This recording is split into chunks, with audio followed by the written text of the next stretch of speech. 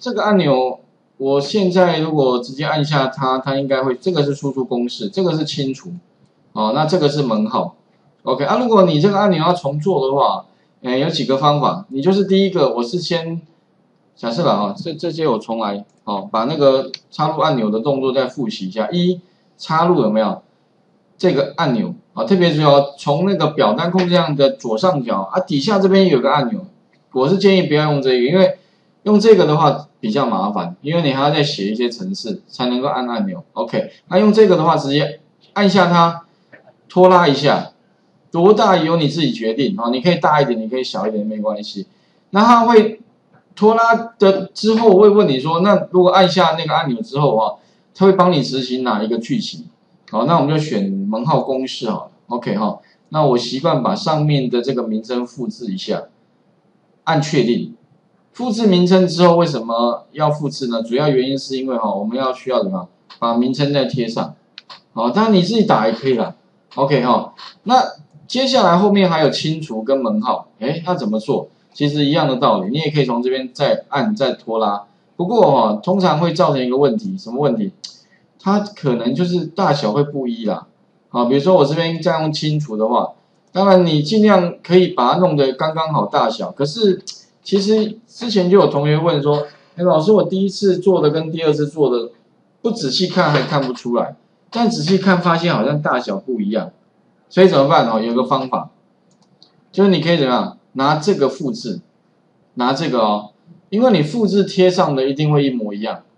那可是问题，你复制之后贴，记得哦，我游标放在它下面这边贴上，Ctrl V，好。或者你可以再移动上去一点点，你会发现一模一样，可是名称也一样，怎么办？没关系，重新修改，按右键修改它的指定剧情，它这个是清除，好，把名称也复制一下，做什么呢？把这个名称改一下，哎，这样的好处就是说哦，它的大小会跟上面一模一样，啊，名称不一样，啊，再一样复制一下，再贴一下，所以我习惯什么？先做一个，然后其他用。把这个拿来贴贴，然后按右键呢，重新指定叫呃门号，然后把它复制一下，这边就 OK 了哈。所以这样输出的话，各位可以看到啊，呃清除没问题。哦，for i 其实清除就是 for i 等于第二列到一百零一列 next 好，把储存格里面丢什么？丢两个空字串，有没有？清除还记得吧？啊，所以程式撰写就这个有没有？回圈里面放空字串。那其他不一样的地方，就是在这个空字串里面要丢什么样的丢公式，就放在这双引号里面哈。而我们刚刚是什么？把结果丢过来，哎，结果怎么丢过来？基本上就是什么？去串接什么呢？串接把这个零九，对吧串到前面，然后再去取得什么？取得这一个放到这边来，再用串接符号 and 串一个减的符号，所以这边会有个减的符号，然后再 format 它。把这个拿过来哈，然后变成零八四串到后面，再把这个拿过来变零零七串接完的结果丢到这边，再放到这边。那因为呢，我不止一个嘛，哦，会有呃二到一百零三，所以这边就加一个 i，把这个列号全部改用 i 来代替，它就会全部帮你完成。那未来哦，只要你某一个栏你需要做同样的事情的话。哎，就可以用同样的方法来写哦。OK，所以未来都差不多的道理哈。OK，好，这个是我们的呃刚刚讲的部分的重点啊，把按钮加上去，然后呢再加这个。接下来的话呢，我要写什么？哎，如果我今天要写的不是按按钮，你会发现啊，如果按钮的话一定是 sub。但是如果我今天需要什么？哎，有之前有同学说，老师我比较习惯插入函数。我希望呢，在这个函数这里面呢，帮我产生一个函数叫手机。那这个手机函数一跳出来之后，会跟我要三个资料。哪三个资料呢？就是这三个资料。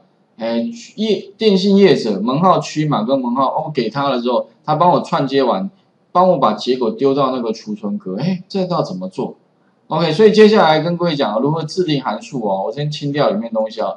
首先特别注意，如果你希望在这个插入函数里面哈。会找到一个类别啊，特别说现在这个类别里面没有使用者定义，为什么？因为我们现在没有写任何的 VBA 程式，所以这边不会出现。那什么时候会出现呢？就是当你怎么样在这边呢，特别是要一样哦，写在哪里呢？写在这个模组里面的最下方，好了。那我们刚刚都是写成 sub，特别注意哦，如果你写 sub 是对应到按钮哦，可是如果说你要写成这个的话，记得哦，不一样的地方在哪里哦？插入程序哦，哎，特别注意，请你选择什么？选择它叫 function，OK，它叫 function 啊，啊，我们把它取名叫函数啦，function 叫函数。那如果自己定义的，我叫自定函数，所以这个名称我是自己取的，叫自定函数。啊，可能其他书里面不见得叫这个名称吧，有的叫函式，有的叫函数，反正就是方群就对了。只是翻译的名称。那我们给它一个名称哈，叫什么呢？叫手机好了。OK，所以这边的话我就给它一个名称叫手机。OK，好，然后的方选按确定。这个时候呢，在你的模组里面就会有一个什么？有一个手机的这个方啊，特别重要，你写这样哦，你在插入函数哦，你会发现。有没有使用者定义？有，有没有手机？有。可是问题哦，你按确定哦，它没有引数，为什么？因为我们还没写完。只是说，如果你有插入一个方选，它就会有出现那个东西了。那你有两个、三个、四个，它就列一个清单了。所以以后如果你写很多，哎，它就会帮你列出来让你选。OK 啊，所以这个方选是量身定做啊。接下来怎么写？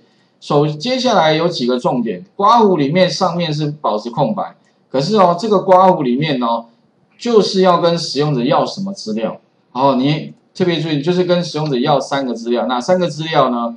哎，请你告诉我门电信业者门号、末码啊、区码跟末码。哎，这三个 Ctrl C 好了，这三个复制它，切过来啊，请你在这个刮胡里面贴上。然后呢，请你在中间加逗点就可以了。哎，那加了逗点之后，你会发现，因为有三个，这个叫三个引数哈。这个叫引数哦，这个所谓的引数就是说，跟使用者要资料哦，你给我这三个资料，那我们会怎么样？会用选的嘛，选这个，所以他会怎么样？选这一个储存格，他就会把十一这个资料放在这一个叫引数里面，就放在里面，里面就放一一，那这个的话就八四，把八四放在这里，零零七就放在这里啊，你可能是七了啊，放进来之后，哎，所以剩下我们要做什么？我们就是要处理，处理完之后呢，丢回给谁呢？给这个手机自己这个名称哦。它的规则这样，处理完丢给他，他再把结果丢到这个储存格里面，就完成一个循环。哎，大概这样的逻辑哦。所以你用理解啦，不用背，因为这种东西说真的背也没意思啊。你怎么背？你可能也许有些地方可以，但是以后我们就要活用。OK，以后如果你要针对类似的状况，你可以自己写哦。好，接下来按个 Tab 键。怎么写？一，把手机放在前面，手机等于什么呢？等于，哎，零九哦，所以写法哦，跟刚刚有点像哦，只是说刚刚是前面是写哪个储存格，现在是把自己的名称放前面，好啊，因为它将来会把这个结果丢到这个你游标放的储存格里面，OK，and 好空一格 and，and 什么呢？and 再来零九，哎，电信啊，电信业者，我们刚刚不是说，是会选，选完之后放哪里？放这里。所以接下来的话，and 什么呢？你就把电信业者这四个字复制到 and 后面，加个空白。零九啊，就是呃，我跳出来之后让他选，他选完之后就把零呃这个这个储存 F 二的储存放这里，就一一，然后这个，所以后面的话呢就空一格 and 一个什么呢？减的符号。跟刚刚有点像啊，and，and 什么呢？哎，and 它又把八四放在这里，所以我打一个 format，format 就格式化，前刮弧，然后呢，把什么呢？门号区码，我先把它复制过来，把它给我的巴士，逗点，把它什么加一个零零零后双引号后刮弧，哎，这样的话呢，意思说哈，我把它格式化了。然后后面还有一个什么门号末码，所以一样的道理，把这边怎么复制到后面去，把这个区码改成末码就可以了。好，这样的话，然后把这个城市这边改成末码末，写到中文啊末，OK，好，城市就写完了。哎，自定函数就是这意思哦，应该可以看懂我的意我大概写什么哦。所以有哪些地方要注意？一插入一定是方选，名称叫手机。二的话呢，后面加上你要跟使用者要的资料，我是从这边复制过来的，好，然后分别串接完之后，丢给这个手机自己本身放前面，串完之后丢给前他，然后他又丢过来，就完成一个循环。好，然后试一下哦，有没有放这边插入函数？有没有放？有，使用者定义里面有一个手机函数，按确定，你会发现，哎，这个时候有没有？我们刮胡后面呢有三个东西，所以呢，它会自动把那三个东西分别就列在这里。哎，所以以后哦，如果你有一个一个就不用了哦，两个逗点，三个逗点，四个如果还有的话，继续逗点就对了。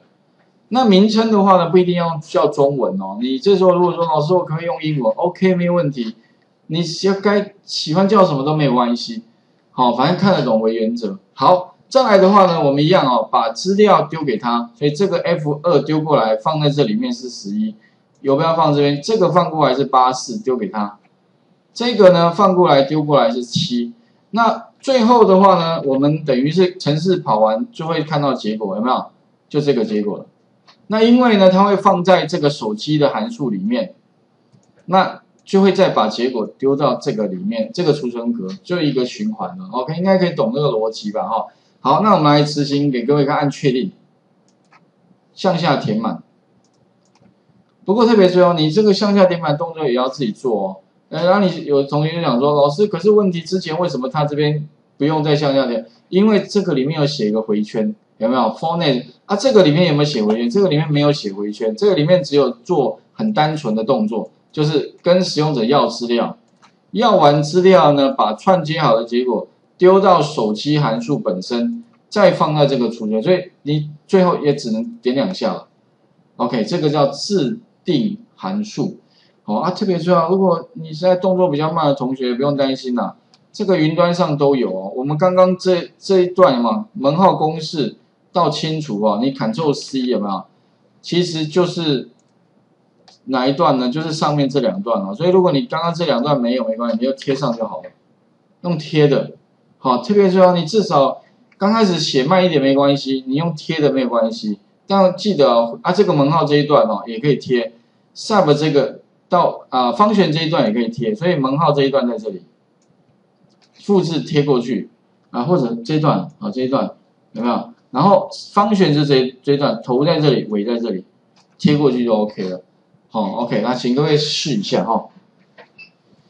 啊，如果你刚开始比较就是比较慢，同学没关系啦，反正你就先贴，然后呢慢慢去了解，然后呢回去有时间哈，我是建议你就是再多花一点时间，再试着自己打打看，因为像这种东西一定要自己自己做过，而且是理解过，那以后呢真的不用背，像这种东西哦，主要是根据什么？根据你实际上工作会遇到要产生的呃需求，你就自己量身定做。也就是说，Excel 里面呢，假如没有什么函数，没关系，你可以自己把它变出来，好啊，这样的话，我想工作应该就很流畅了。比如说你每天都用到，你就把它写成一个自定函数嘛，哦，Excel 里面没有没关系啦，你就自己怎么样，完完全全 for 你的工作，自动就可以把你要的结果自动就丢到那个储存格里面去了。OK，好。不过制定函数，我是觉得哈，它跟 sub 比起来的话，一般还是我询问蛮多同学，大部分同学还是用 sub 的机会比方选来的高哦。主要原因是因为啦，反正一键完成就好了。那方选哦，它比较麻烦，它变你还是非得要自己插入函数，还是自己要点两下哦。可能我是觉得还是没有 sub 那么的直接啊。啊，还有一点哦，方选哦跟那个 sub 不一样，sub 是按按钮，还有上面有箭头执行。那方选的执行哦，一定要插入函数哦，所以你写完之后不要像刚刚一样用 sub 一样去执行它，一定要到哪里呢？到插入函数里面找到使用的定义哦，才能执行哦。啊，因为之前蛮多同学写完之后哦，就按一下那个上面的那个跟 sub 一样，哎，发现怎么会没有东西不会跑哦？特别是方选执行的方法跟 sub 完全不一样啊，这一点可能要特别注意一下。